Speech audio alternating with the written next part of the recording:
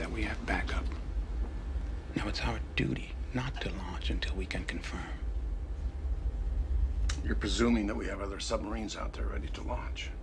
But as captain, I must assume that our submarines could have been taken out by other Akulas. We can play these games all night, Mr. Hunter, but I don't have the luxury of your presumptions. Sir. Mr. Hunter, we have rules that are not open to interpretation, personal intuition, gut feelings, hairs on the back of your neck, little devils or angels sitting on your shoulders. Captain.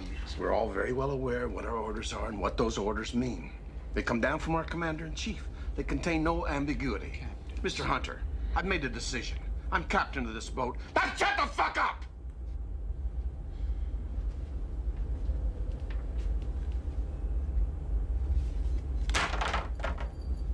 Damn. Weapons, con. Ship targeting to target package SLBM 64741 slash 2. This is the captain.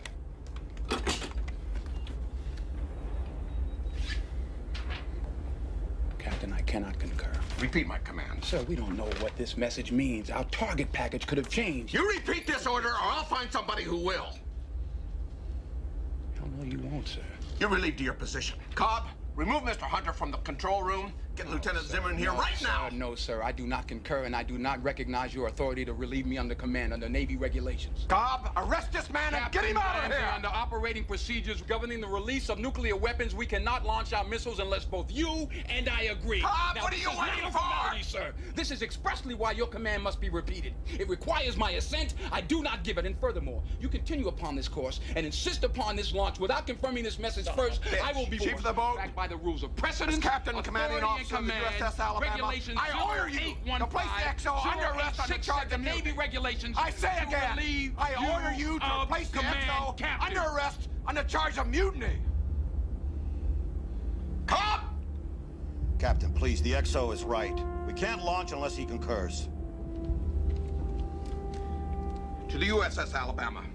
Rebel-controlled missiles being fueled. Launch codes compromised. Dissonance. Threaten launch at continental United States. Set DEFCON 2. Immediately launch 10 Trident missile sorties.